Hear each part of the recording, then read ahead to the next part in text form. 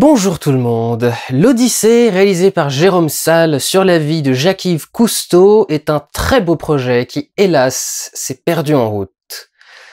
Et si vous voulez un avis global avant d'aller voir le film, si vous êtes ultra fan de Cousteau, je pense que ça peut vous plaire. En dehors de ça, je pense que vous aurez du mal. Euh, c'est mon souci, c'est que ce film a été fait par Jérôme Salle, a priori pour euh, ramener euh, Jacques Cousteau dans la mémoire collective, parce qu'il disait qu'il disparaissait complètement de la mémoire de tout le monde. Et au final, ce film n'est pas sur Jacques Cousteau, Jacques-Yves Cousteau, ce film est sur comment son fils, Philippe, l'a fait changer. Et je ne croyais pas un jour dire que le problème viendrait peut-être de Pierre Ninet. parce que c'est un acteur que j'aime beaucoup, mais il y a plusieurs possibilités. Soit les producteurs ont demandé à insister sur le personnage de Pierre Ninet, soit Pierre Ninet a pris la grosse tête et a demandé à ce qu'on augmente son personnage. Le fait est qu'on se retrouve dans, un film qui traite quasi à part égale le père, Jacques-Yves Cousteau, élément central du film, et le fils, Philippe Cousteau, qui n'a rien de très spécial à nous dire, à nous vendre ou quoi que ce soit, qui est pas beaucoup plus influent sur son père que d'autres personnes qui sont à son entourage et qui sont parfois beaucoup plus intéressantes, la mère par exemple, enfin sa femme, à Jacques-Yves Cousteau. Et euh, le vrai souci, c'est que on comprend pas le personnage et que tel qu'il a l'air d'être vu dans le film, c'est un trou du cul. C'est moi, je, je, je, je suis censé être le public cible de ce film. Je suis quelqu'un qui ne connaît rien à la vie de Cousteau. Je connais son nom, je, je, sais, je, connais le symbole du commandant Cousteau et je sais que c'est un mec qui représente beaucoup de choses, mais je sais rien de sa vie. Donc ce film, c'est clairement pour moi qu'il a été fait. C'était pour m'apprendre des trucs. Et au final, j'ai appris plein de choses qu'il avait fait, mais rien du pourquoi. Le peu de pourquoi qu'on peut avoir arrive au bout de deux heures de film et c'est d'une simplicité tellement banale qu'on n'avait vraiment pas besoin d'avoir tout le film qu'il y avait avant pour simplement en arriver à ça. Si c'était juste ça le but par rapport à, à Jacques Cousteau lui-même, euh, et tel qu'il est présenté dans le film, le personnage devient un antagoniste presque. Ce qui se passe, c'est que euh, on suit à égalité deux personnages.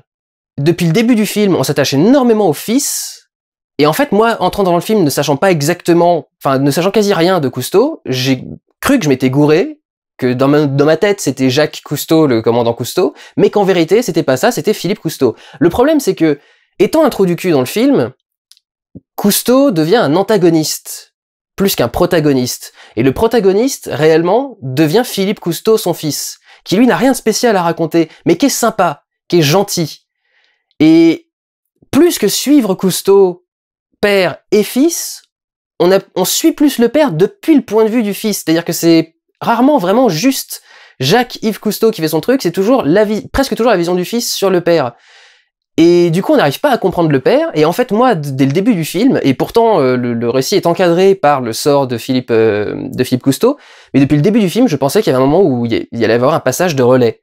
Le, film se vend plus comme ça, se, vend plus comme un passage de relais pour le fils. Et effectivement, les événements de fin font que c'est compliqué. Et j'ai l'impression que le film a essayé de, de, de faire un build-up sur le fils pour que quand les événements de fin arrivent, ce soit encore plus pire et qu'on soit vachement euh, proche de Cousteau dans ce de, de, pour euh, de, comment est-ce que lui gère cet événement. J'essaie de ne pas spoiler, mais c'est de la vraie vie, donc vous pouvez savoir ce qui s'est passé, mais euh, j'essaie de pas spoiler quand même. Et le souci, c'est que comme on s'est beaucoup concentré sur son fils, on est finalement très peu attaché à, à Jacques-Yves. Et quand la fin arrive, j'ai pas spécialement d'empathie avec Jacques-Yves Cousteau. Je, je, me sens pas vraiment avec lui. Au contraire, j'ai l'impression d'avoir perdu mon héros et c'est tout, quoi. J'ai l'impression d'avoir perdu le vrai héros du film. Euh, alors, ça peut, il peut y avoir plein de raisons à ça. Il peut y avoir effectivement une espèce de grosse tête de la part de Pierre Ninet qui débarque et qui fait ouais quand même, euh, je suis pas n'importe qui, augmente mon personnage et ce sera cool. Euh, il y a un petit peu de Jérôme Salle qui a dit oui, en fait son fils avait beaucoup d'importance, ça me travaillait de le mettre, mais je, je, suppute qu'il dise ça pour faire passer la, le, le, le, truc plus, plus tranquillement.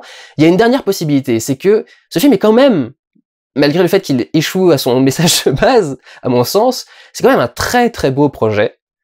Euh, c'est le film le plus cher de, de, de un, des films les plus chers de l'année en France, 30 millions d'euros, et c'est pas facile de réunir ce genre de somme pour faire ce genre de film. Et un film sur Cousteau, ça va forcément coûter cher parce qu'il y a des plans sous-marins, ce qui coûte extrêmement cher. Donc si vous faites un film sur Cousteau, vous savez que le film va coûter cher. pour faire financer le film, donc vous pouvez y mettre des acteurs bankable, des mecs qui, qui, qui marchent bien. Euh, Lambert Wilson me semble un, peu moins bankable que Pierre Ninet, et c'est pour ça je trouve qu'il y a une, vraie séparation entre les deux. J'ai vraiment l'impression que Lambert Wilson est là pour passer le relais et, et qu'il va pas porter tout le film juste après, même s'il le fait très bien. Et c'est ça le truc, il le fait très très bien, mais le film en lui-même du coup marche pas très bien à cause de ça.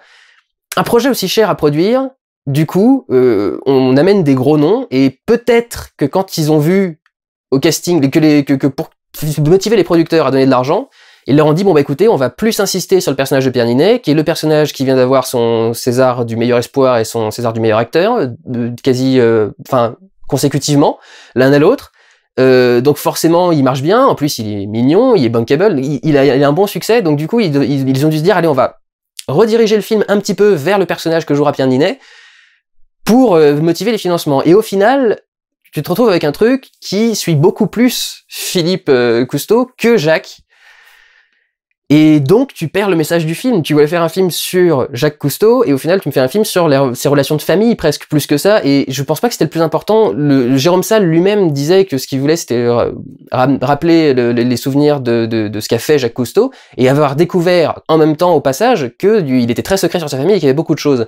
Le truc, c'est que là, j'ai l'impression que presque tout le film est centré sur la famille, parce que tout ce qui, tout ce qui est vraiment en recherche n'est euh, où, les activités réelles de Cousteau sont pas vraiment dedans et sont jamais vraiment motivées. C'est-à-dire sa façon d'expliquer pourquoi est-ce qu'il a envie d'aller dans l'eau ou pas quand il parle à son frère, c'est extrêmement simple. À un moment, on le voit lancer les habitations sous l'eau. Et quand, le truc démarre, on se dit oh c'est génial, on a essayé de faire ça, on a essayé de faire des maisons sous l'eau et tout. Et tu te dis bah oui c'est cool, je vois ce qu'a fait Jacques Cousteau. Pourquoi il a eu l'idée? Comment il a eu l'idée? Comment t'en arrives à te dire je vais mettre des maisons sous l'eau, de l'exploration comme ça, à dire je vais mettre une maison carrément et je vais essayer de développer ça comme un nouveau mode de, vie? C'est le, on le voit passer à la télé et dire euh, des, trucs tellement gros qu'on se demande même s'il y croit vraiment et si c'est pas juste de la com d'ailleurs parce qu'on on lui reproche justement beaucoup dans le film de faire beaucoup de com plus que de passion et il y a plein de moments où il est là en train de dire, de parler de ses maisons, de ses machins, et on a l'impression que tout ça en fait est entièrement inventé de A à Z juste pour financer ses délires, et qu'en fait il y croit pas vraiment ou qu'il raconte des conneries ou machin. Et rien que ça, voilà, les maisons quand elles arrivent, c'est largué comme ça. Ah oui, j'ai mis des maisons sous l'eau. Tu veux les filmer, euh, mon fils? Ah oui, mon fils va faire un super plan sur les maisons, mais je sais toujours pas pourquoi il y a des maisons sous l'eau. Enfin, si, je sais, bien sûr qu'il kiffe l'eau. C'est évidemment, d'accord, c'est cool, mais c'est le process que je vais avoir. Comment est-ce qu'il arrive à avoir ces idées? On le voit toujours arriver et dire bon alors on va faire ce sous-marin, ce truc et ce truc là. Et tu fais c'est fallait me l'amener ce truc là c'est pour ça que je vais voir un film sur Cousteau. C'est pour comprendre ses délires c'est pour comprendre qu'au va solo je vais pas voir un film sur Cousteau pour comprendre que son fils l'a rendu écolo à la fin de sa vie. On s'en fout. C'est pas ça le sujet. Et ce qui est con, ce qui est con, euh, c'est que c'est là qu'on voit vraiment que le film est mal, mal orienté, c'est parce qu'il est encadré par l'histoire de Philippe, qui arrive au début et qui revient à la fin. Et quand l'histoire se termine complètement, on a des panneaux de texte qui viennent nous résumer quelques trucs, et à un moment dans le texte, on a marqué son plus grand accomplissement, c'est d'avoir fait signer un accord qui fait que aucune nation ne peut euh, essayer de récupérer les ressources qui sont en Antarctique. Et tu dis, tu fais vraiment un film sur Jacques-Yves Cousteau, c'est sur ça que tu finis le film. Sur cette scène-là, sur la scène où il est euh, devant le, tout l'amphithéâtre et il reçoit son prix pour, euh, pour, il, fait signer son truc et les gens applaudissent, il y a des trucs, enfin, c'est comme ça que tu finis un vie pour montrer un truc pour montrer l'accomplissement de la, de, la vie de Jacques Cousteau. Sinon, tu, me montres euh, les histoires de famille d'un explorateur, avec beaucoup plus d'histoires de famille que d'explorateurs. Et malheureusement, malgré toutes ces histoires de famille, pas beaucoup de choses euh, très élaborées, quoi. C'était la mère de, enfin le, le, oui, la mère euh, Cousteau, elle est évoquée très très rapidement. Il disait qu'elle avait eu un grand impact sur la vie de l'équipage et qu'il voulait vraiment montrer ça dans le film. Personnellement, dans le film, j'ai pas vu ça. Moi, j'ai vu une chieuse plutôt. Euh, donc, euh, à, l'exception de deux ou trois scènes où elle a fait la cuisine, sympa. la femme a fait l'ambiance parce qu'elle a la cuisine.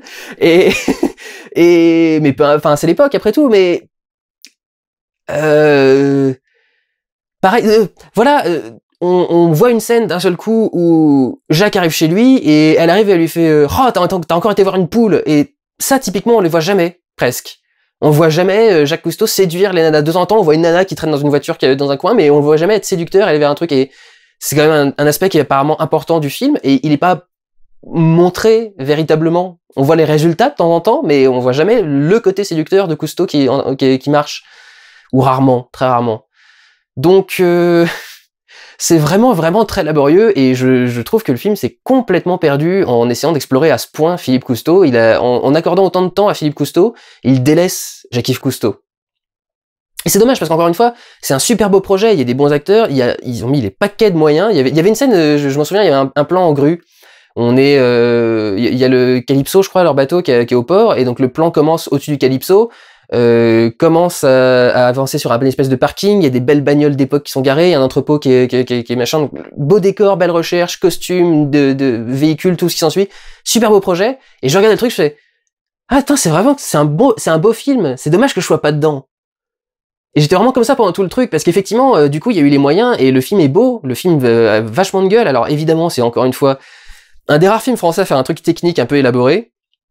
Et bien sûr, il n'y a pas moyen de trouver une information technique correcte sur Internet. Euh, le film est marqué comme étant au ratio 2,35 ou 2,39. Je vous invite à voir mes bases du cinéma sur les ratios de cadre pour comprendre de quoi je parle.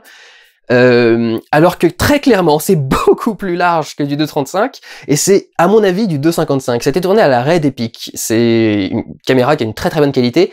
C'est possible, alors j'ai un doute vite fait, mais je crois qu'elle a un très gros capteur celle-ci, avec des lentilles anamorphiques spéciales. Le truc, le, le film est fait pour être impressionnant et pour en mettre plein la gueule. Il y a des, grands angles extrêmement larges sur des paysages très très très très vastes, magnifiques en plus, euh, le, avec des très belles lumières, mais c'est à la base des très beaux paysages et des très, des, des très belles régions, euh, des, bords de mer vraiment très très beaux, et tous les plans sous-marins sont magnifiques. Il y en a deux trois où sur lesquels il y a des trucages. Il y a un plan en particulier où les, la famille plonge et il y a le gamin qui plonge un peu après.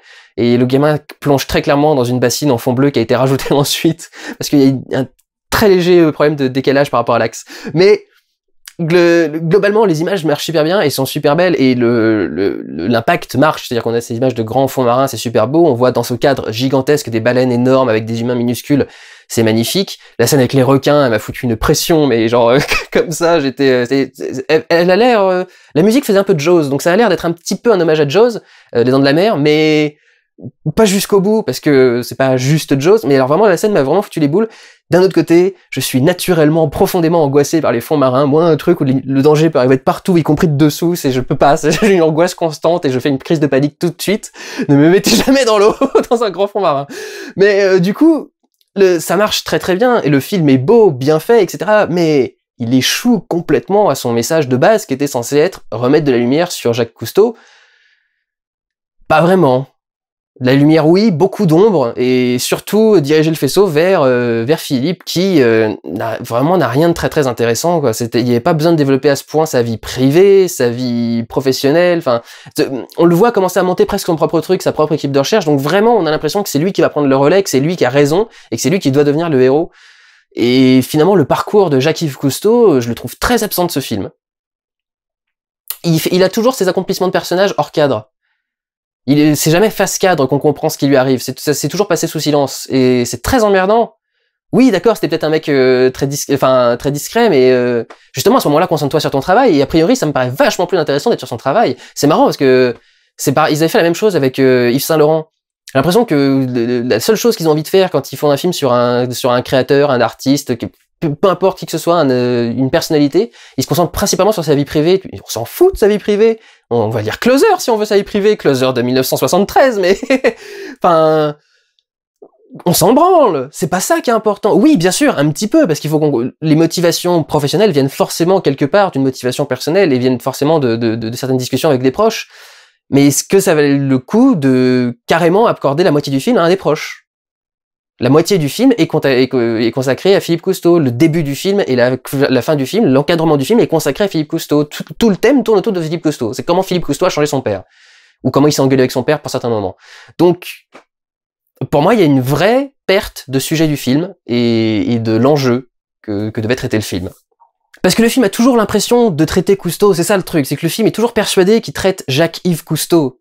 Et c'est pas le cas, c'est vraiment pas le cas. Et alors, ce qui est traité est traité de façon tellement classique et un peu grossière que ça fait, ça fait, un peu biopic lambda en plus. Et un peu, et un peu raté. C'est pas le niveau de la môme, c'est pas le niveau de Gainsbourg vie, héroïque. C'est, euh, pour vous donner un exemple, donc on, on, démarre dès le début avec le gosse, c'est parce que parce que le film se dirige mal, il pense parler de Cousteau et on commence tout de suite avec un gosse, donc évidemment moi je pars du, principe que c'est lui l'avenir, c'est lui le, futur, donc c'est lui le personnage qui va être intéressant dans le film. Et on commence avec un, père qui a déjà une trentaine, quarantaine d'années, donc on pense pas qu'il peut lui arriver quelque chose. Ce qui est, ce qui est un peu salaud, hein, évidemment, mais en tant que film, c'est vraiment comme ça que ça se ressent, quoi. Si, si on vraiment se concentrer sur un personnage qui découvre l'aboutissement de sa vie alors qu'il est déjà très très loin dans sa carrière et dans sa vie, dans sa vie familiale, il faut vraiment se concentrer sur lui, sur le, sur le début. J'ai su qu'il avait coupé un morceau de la jeunesse de Jacques-Yves Cousteau pour augmenter le personnage de Philippe. Mauvais calcul. Fallait, fallait laisser Philippe où il était, il fallait laisser l'introduction sur Jacques Cousteau parce que c'est effectivement quand tu démarres avec le gosse que tu comprends que c'est lui le personnage que tu suis jusqu'à la fin. Si tu démarres avec un autre gosse qui, clairement occupe la caméra et qu'ensuite tu arrives au père, le père est le personnage secondaire. Si le reste du film suit beaucoup le fils, si c'est juste un plan d'intro comme ça, on suit l'enfant et ensuite on arrive au père, ça peut très bien marcher, ça peut être une introduction du père, mais comme le reste du film se concentre autant, voire plus sur Philippe que sur le père, et de façon grossière, puisque quand le père commence à, quand Jacques commence à, partir en expédition, euh, il prend une décision qui le fâche avec son fils, début des engueulades, et c'est géré de la façon la plus cliché possible, c'est-à-dire il y a le gamin qui est caché, qui écoute une conversation de son père qu'il ne devait pas entendre, quand il entend le truc, il se met à courir, le père lui court après, il le rattrape, et dès que le gamin le rattrape, il se retourne et il fait « Je te déteste !» Il y a eu aucun mot avant, il a juste couru et « Je te déteste !» Et la première fois que le père lui a dit un truc qui lui a pas plu, ils vont pas essayer de parlementer, pas machin, non, non, c'est la grande scène émotion, le gamin qui court et le père qui le rattrape et qui se retourne « Je te déteste !» La scène d'avant, il y avait eu un moment où... Euh, c'est lui? Oui, c'est lui. Euh, où Philippe, du coup, s'était levé pendant la nuit, et, le, et Jacques va le voir pour le remettre au lit. Et Philippe lui parle de son ancienne carrière. Il aurait pu être autre chose, euh, le commandant Cousteau, en fait, que, que marin. Et les bonnets, par exemple, on sait pas d'où ils viennent, les bonnets. Ça, arrive d'un coup comme ça, c'est ah, c'est le symbole des marins. C'est oui, bah, tu sors de ça d'où de ton cul. Et le fils lui parle de son ancien truc, et il y a son ancien blouson de cuir qui traîne dans un coin et qui est lié à ça. Et le fils euh, lui fait euh, ça te manque parfois Et l'autre, le, Jacques Cousteau répond non, pas du tout. Le fils s'en va. Et là, je vous jure, il prend son manteau, il est te respire le cuir comme ça, mais collé à son... C'est pas un cuir, c'est un t-shirt. Mais j'ai pas de cuir. Le, côté grotesque du truc, pour te montrer qu'effectivement, il a encore un petit peu envie d'être aviateur, il y avait peut-être d'autres moyens, on pouvait peut-être le voir, devoir prendre un avion à un moment et regarder l'avion avec envie et finalement se décider à pas le prendre. Mais non, non, ils l'ont pas fait comme ça. Et alors, un des moments comme ça les plus ridicules, justement autour du personnage de Pierre Ninet, c'est le moment où il rencontre sa copine. D'un seul coup, l'Odyssée devient la boum. Le mec est dans une espèce de soirée en boîte. Euh, il a évidemment la tête penchée parce que il est pas dans ce genre-là. Il aime pas les boîtes, il aime pas l'alcool, la, musique, les nanas à poil derrière, tout le bordel. Et il se retourne. Il y a pas de nanas poil. ça, ça aurait pu. Enfin, il signe un contrat, donc ça aurait pu. Et euh, il se retourne un moment et il regarde la foule. Évidemment, juste entre deux silhouettes de personnes en train de danser. Il y a la femme de ses rêves qui est en train de danser au ralenti, donc sans doute tourné en 36 images secondes et ralenti en 24 ensuite, parce que c'est pas un énorme ralenti, mais juste un petit ralenti éthéré à la française. Et euh, il la voit et il est absorbés par elle et leurs regards se croisent et ils commencent à parler et alors quand ils parlent on les entend pas parce qu'ils sont tellement dans leur monde qu'on les entend pas. Il y a la musique mais aussi. Et la caméra se rapproche et là les, lumières s'éteignent il y a plus qu'un énorme fond noir et eux éclairés au milieu du canapé et la caméra s'éloigne et ils sont tous seuls dans le noir au milieu du canapé à se parler. Tu fais ah, qu'est-ce que ça vient faire là-dedans d'un coup nom de Dieu? Euh, pourquoi un truc aussi cliché aussi euh, ah sirupeux, sirupeux véritablement. Ah là là. Donc euh, il y a vraiment des, gros défauts dans ce film de direction de, du scénario, sur quoi est-ce qu'on a envie de se concentrer, qu'est-ce qu'on a envie de raconter de, ce personnage de Jacques Cousteau. Pour moi, ils n'ont pas voulu raconter la bonne chose. Et, euh, et dans le style, techniquement, c'est très bien fait, mais il y a certains points où tu te dis, bon, ça aurait pu être un petit peu plus élaboré. Peut être un petit peu mieux. C'est pas, c'est pas gravissime, hein, mais c'est qu'au final, ça donne un projet qui, qui a de la gueule et qui fait pas grand chose. Et du coup, c'est un peu emmerdant. ça serait bien de, réussir à faire les deux un jour en France, un projet qui a de la gueule et qui fait quelque chose en plus. Euh, donc voilà, c'est et c'est vraiment pas raté, raté, mais je suis pas rentré dedans, je me suis pas vraiment attaché au personnage. Et c'était c'était un petit peu un petit peu longuet et vraiment le film euh, semble complètement perdu, persuadé qu'il parle de Cousteau alors qu'en fait il parle de la relation de Cousteau avec son fils. Je vais même dire de la relation de de son fils avec Cousteau, euh, du fils Cousteau avec son père presque. Comme ça, on fait disparaître le Cousteau du, du, du père. Et euh, enfin, vraiment, pour moi, le film s'est fourvoyé. Euh, ou le réalisateur s'est fourvoyé. Et peut-être même qu'il s'en est pas rendu compte au tournage, peut-être qu'il s'en est rendu compte au montage. Et je pense que c'est même pour ça qu'il qu'il encadre le film avec le, le, truc de Philippe. Parce que quand il a fini le film et son montage, il s'est dit merde, au final, euh, bah, j'ai tellement concentré mon truc sur Philippe que j'ai abandonné euh, Jacques. Donc je vais encadrer tout le récit avec le sort de, Philippe. Comme ça, au moins, ça donne un sens. Parce que c'est le seul moyen qu'on a d'effectivement attendre qu'il se passe quelque chose pour Philippe. Parce que si on raconte pas le destin de Philippe, le film ne raconte rien. Il raconte pas Jacques-Yves Cousteau. En tout cas. Il montre plein de choses qu'a fait Jacques-Yves Cousteau, mais on pourrait avoir les mêmes connaissances presque avec une recherche Wikipédia. On trouve trois quatre images des maisons sous-marines qu'il avait fait à l'époque, un petit article sur les différentes actions qu'il a faites, et voilà, on avait la même chose. Sans en plus devoir se taper les histoires de famille qui sont pas forcément les trucs les plus intéressants de, de, l'histoire. Donc voilà, euh, en ce qui concerne l'Odyssée, je ne suis pas convaincu et, et j'espère vraiment que c'est c'est pas un, défaut de d'ego de la part de Pierre Ninet qui a amené le film dans, dans cette direction-là parce que ça m'emmerderait quand même bon, un très très bon acteur français, un jeune motivé qui peut faire des trucs cool s'il se met à phagocyter des projets. C'est chiant, très chiant. Voilà, euh, donc après, à vous de voir si vous êtes euh, si vous êtes très fan de Cousteau, peut-être que ça va vous rappeler des trucs et c'est tant mieux. Mais pour ceux qui connaissent pas grand-chose, je pense pas que ce soit le meilleur moyen de découvrir Cousteau. Euh, notamment avec les animaux d'ailleurs. Le truc écologiste, j'arrive pas à croire s'il est qu'il soit vraiment à fond dedans parce que le, truc avec les les otaries par exemple. Euh, voilà, pour moi c'est vraiment typiquement le truc qui, fait que Cousteau est un enculé dans ce film et pas du tout un personnage appréciable ou qu'on a envie de voir triompher ou quoi que ce soit. Donc ce qui fait ça mène pour moi à un défaut de traitement. Si vraiment il réfléchit comme ça, faut arriver à trouver un moyen de le rendre plus humain, et c'est pas avec sa famille. Parce que c'était compliqué la famille. Donc c'est pas comme ça qu'on arrivera à rendre le personnage plus attachant. Faut, faut montrer à quel point il apprécie l'eau. Euh, voilà un truc. On ne voit jamais Cousteau dans l'eau dans ce film.